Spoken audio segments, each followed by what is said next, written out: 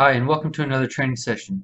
In this video I'm going to show you how to install and configure Android to work with NetBeans, the IDE. As you can see I have the sample project open. Um, now this is the finished project uh, and it all works except since I'm in a virtual machine and I haven't I guess configured it correctly the emulator isn't going to work. But if you were to hit play the emulator would come up. You can configure the emulators in the AVD manager. And it looks like something like this.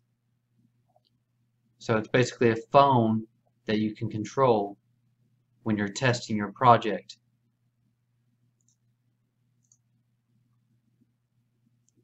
So I'm going to go ahead and remove everything Android on this computer and uh, and then show you how to install it and configure it. Resuming now, the uh, NetBeans and the Android and Java has all been uninstalled. Uh, one thing you need for Android on your computer is the uh, Android Software Development Kit, which is the SDK, uh, but also the Java, uh, the uh, the Java Development Kit, the JDK. Uh, if you were to go to the NetBeans and just download NetBeans IDE, the current version today is 8.1. You would want the Java SE version, just having the basics of Java, because of course Android is built on Java. Uh, you could get everything if you'd like, uh, but it's about a little bit more than twice the size. Um, if you want the minimal version though, you just want the Java, uh, the NetBeans IDE, that's what you'll download. But uh, Java, if you were to download the JDK, you could download it separately, or you could actually get the NetBeans with the JDK uh, as one bundle, one package.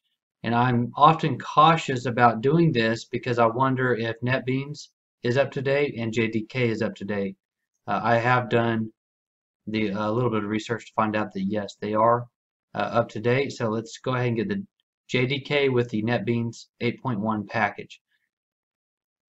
Um, this is on the Java website, the oracle.com, but if you go to Google, you search for JDK download, and it will take you here.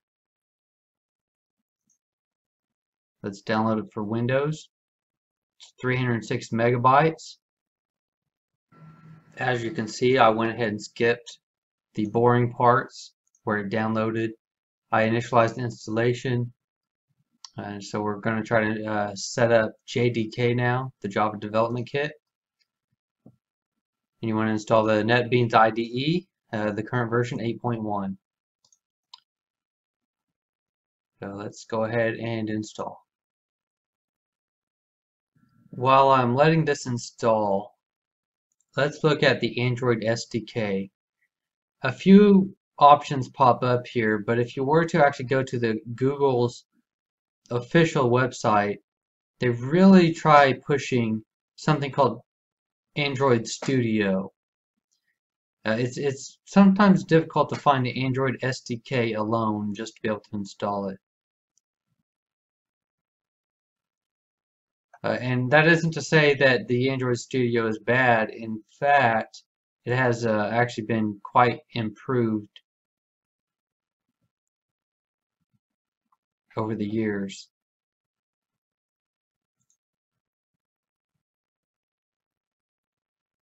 And I probably will use Android Studio, but this video is about uh, installing Android on NetBeans. Uh, so you go here and you, you want to download the Android Studio, and I may make a future video about downloading Android Studio. But let's actually get the SDK for Android.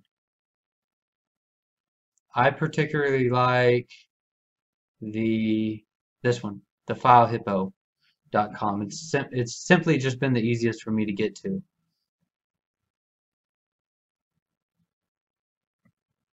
Uh, definitely, uh, if you, you can download the Android Studio if you'd like.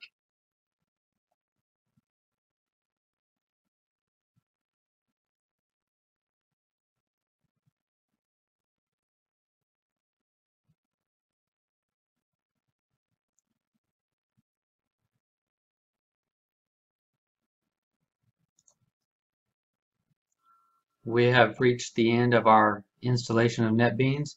It did take quite a while because we had to also install JDK with it.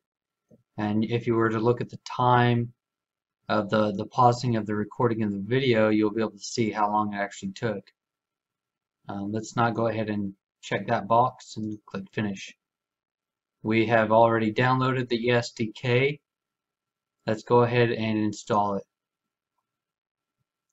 The, the Android SDK, uh, as far as my experience goes, takes the longest. So of course, I will pause the video uh, when the installation comes up and let it go ahead and install.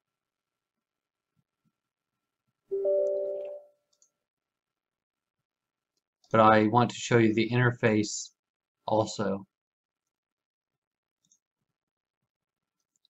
Uh, you can choose either one you want. I choose install anyone for this computer. Uh, go ahead and click next for the destination. Yes, install. We want to start the SDK manager uh, actually in a few minutes um, because I'll show you why. Uh, I actually won't show it, technically show you, but let's go ahead and click it. Let's not start it right now because there is something very important that I actually learned the hard way.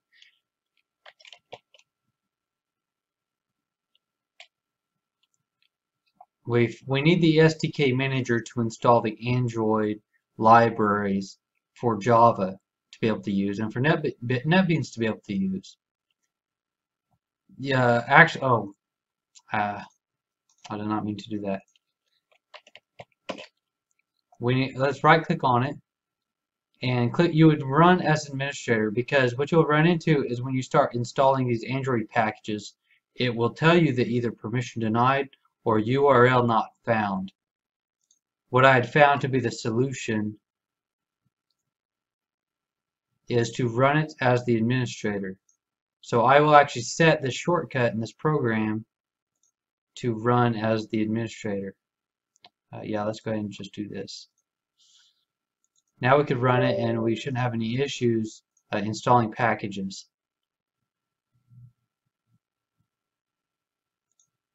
It searches for all these packages now. Yes. So this is the SDK manager for Android. You have different API versions of Android. If you go way back, you're looking at like an earlier version of the Android. Uh, so we're just going to leave it at default uh, for one because we have lack of space, but also for time uh, management. But you could certainly choose an earlier version of Android if you need backwards compatibility. So we have Android 6, aka API 23 selected, and then we have this other version here. Uh, we don't have very much here selected except the support library, and that's needed on many applications. Let's go ahead then and uh, say install 22 packages. You could also delete the one package that's already installed. We're just going to install them. You want to accept the licenses, click install. This will install all of the Android items you need for your system. And uh, like I say, this probably takes the longest. It needs to download everything and then also install it. Android has installed now. And we need to go ahead and open up NetBeans IDE. And NetBeans uses plugins. So we need to install the Android plugin for NetBeans. While it's loading NetBeans, there is one configuration we need to make. Let's, it's called NB Android now. Uh, let's say plugin for, uh, for, yeah, that's what it is, plugin for NetBeans.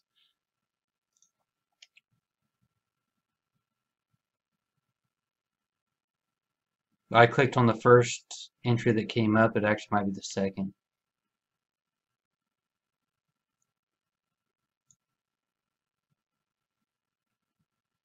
Uh, nope, this is it. So let's look at, we need this because we're using the NetBeans 8.1 or newer. This is the, the path that it uses to find the plugin. Uh, it says help us improve. But yeah, yeah, yeah. Uh, okay, no, thank you. So we go to Tools in NetBeans and we go to Plugins. It won't be in here by default. That's why we need to uh, modify the plugin settings. And let's go ahead and add this path that we just created. Or uh, actually just copied. So that's the path it's going to look for. And under name, let's just call it this. Uh, we can name it whatever we want because it's going to appear in here. So now under available plugins, we should be able to search for Android and find it. There it is. Let's go ahead and also install the Gradle support. A Gradle is kind of unique. It's a uh, it's different. I don't know exactly how it works, but it's a, included often in Android to make life easier. Then we click install. Now it's going to tell you it's installing these plugins. And this is to get Android to work with NetBeans, which later we will need to configure it to uh, to use the Android SDK we just installed.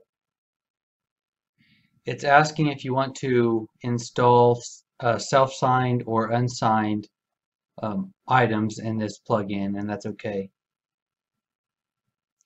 Uh, you want to go ahead and restart, it's going to do that for you automatically.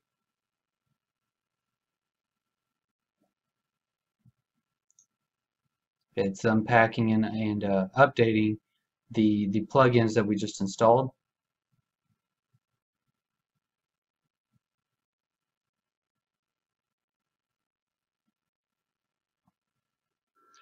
NetBeans is up and running again.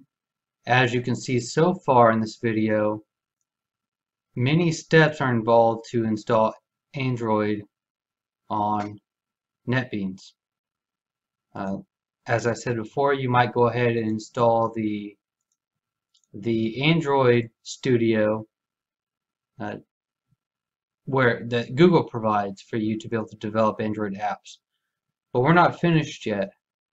So let's go ahead and create a new project. Android is in here. Let's create an Android project, a brand new one.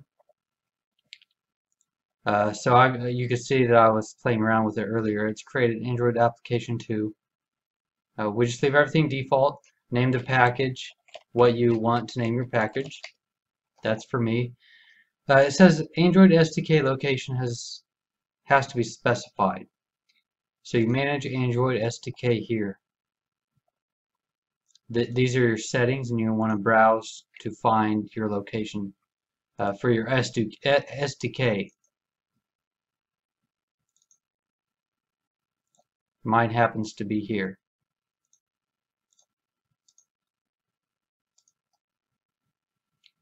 It doesn't recognize your settings right away. Uh, I just hit back and then hit next. And it wants you to select your target. So now you're developing this particular application for Android 6. That's it.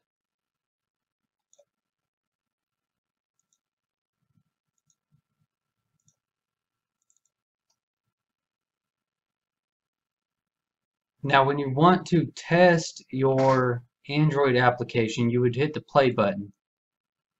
Uh, or you can go to run and then run project. But you don't have an emulator set up. Like an actual phone uh, that you could play with here on screen.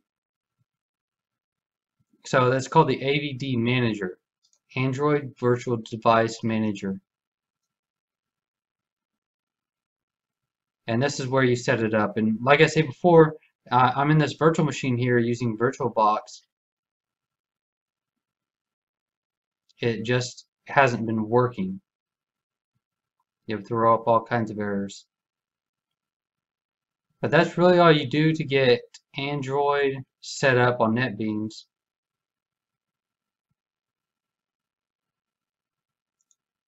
Uh, it looks like it kept my settings from earlier even though I uninstalled the software. But basically this would come up blank normally and you hit create and you can create an emulator. So you go through these settings here uh, which I'm not going to do right now. And then when you hit play, it will uh, start the emulator for you and the whole works. Uh, obviously though, if you have any questions, uh, leave comments uh, below the video. Or if you like this video, you thought it was helpful, uh, leave a thumbs up. Or if you dislike it and you just really didn't think it was helpful, Uh, leave a thumbs down. Uh, that would really help improve the quality of my videos